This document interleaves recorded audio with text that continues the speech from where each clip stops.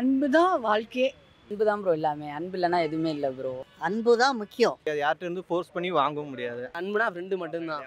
அன்பு தான் எனக்கு முதல் அன்புக்கு நிகரானது எதுவுமே கிடையாது. பாசிட்டிவ் எமோஷன்ஸ் அன்பு கண்டிப்பா ரொம்ப இம்பார்ட்டன்ட் தான் அன்புன்றது ஒரு ஒரு அண்டர்ஸ்டாண்டிங் அன்பு வந்து காசு இல்லாம கிடைக்கிறதுனால அதோட வேல்யூ இன்னைக்கு தெரியாம போயிருச்சு. அதான் உண்மை. அன்பு தானே ஃபர்ஸ்ட் அன்பு இல்லாட்டினா வாழ்க்கை இல்லையே. ப்ரோ மதுரைனாலே அன்பு தான் ப்ரோ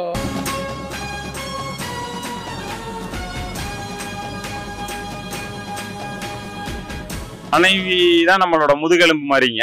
அவங்க வந்து எந்த அளவுக்கு நம்ம கோஆப்ரேட் பண்றாங்களோ அந்த அளவுக்கு நம்மளோட வாழ்க்கை வந்து ஹாப்பியாகவும் நல்லா வந்து நம்மளால முன்னேறவும் முடியும். அன்பு எல்லார்ட்டையுமே இருக்கணும் கண்டிப்பா இருக்கணும். ஃபர்ஸ்ட் வந்து எப்படினாலும் ஸ்ப்ரெட் லவ் தான்.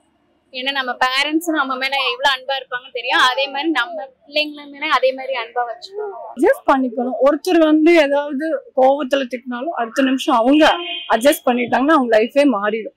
அந்த பொறுமைங்கிறது ரொம்ப முக்கியம் பெண்களுக்கு. பெண்கள் பொறுமையா இருந்தா எதை வேணா சாதிச்சிடலாம்.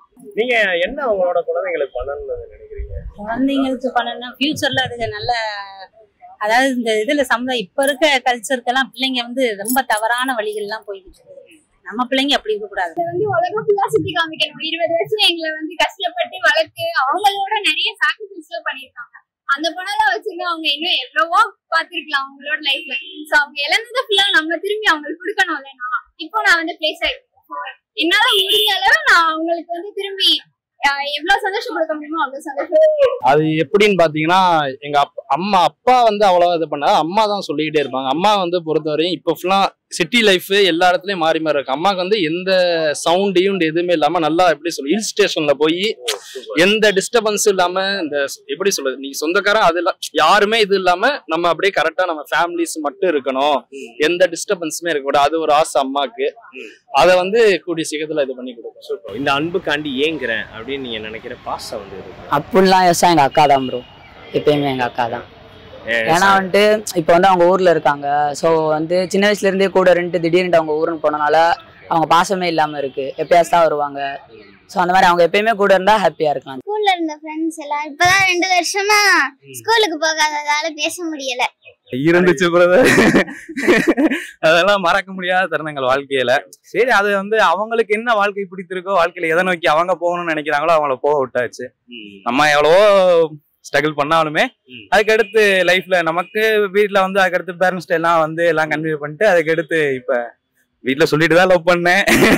வீட்ல தெரியாமலாம் நாங்க லவ் பண்ணல. பட் வந்து அதுக்கடுத்து லைஃப்ல வேற மைண்ட் சேஞ்சஸ் வந்துச்சு. அவங்க லைஃப்ல சேஞ்சஸ் வந்துச்சு. அவங்க வேணான்ட்டாங்க ஓகே நீங்க போங்க. உங்க லைஃப்பை பாருங்க. எவ்வளவோ கடைசி வரைக்கும் இழுத்து பிடிச்சு பார்த்தா முடியல. அப்புறம் சரி நம்ம எதையுமே தக்க வைக்க அன்பு தானே நமக்கு. ஸோ அந்த அன்பை நம்ம தக்க வைக்கிறதுக்காண்டி பார்த்தோம்.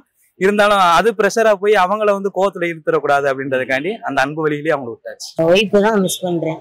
ஏன்னா எங்க கூட இருந்த வாழ்க்கையில எனக்கு ரொம்ப ஹெல்ப்ஃபுல்லா இருந்தாங்க. நான் ஊனமுற்றோரும் தெரிஞ்சும் என்னை இந்த அளவுக்கு வச்சு பாசமா பழகுனாங்க. அப்படி பழகும்போது ஹார்ட் அட்டாக்ல இறந்துட்டாங்க. அப்படின்னும் போது எனக்கு ஒரு பொண்ணு இருக்கு. அந்த பொண்ணை வச்சு தான் இப்போ நான் பொண்ணு நானும் தான் இருக்கோம். சமாளிச்சு வாழ்ந்துக்கிட்டு இருக்கோம். என் பொண்ணு தான் இப்போ பாசமா என் மேல இருக்கு. அந்த பாசத்தை நான் என்னைக்குமே என் பொண்ணுகிட்ட காட்டுவேன். என் என் பொண்ணு என்னை என்கிட்ட பாசத்தை காட்டும். அந்த வாழ்க்கையில தான் நான் வாழ்ந்துகிட்டு இருக்கேன். திங்கள் முதல் சனி வரை இரவு எட்டு மணிக்கு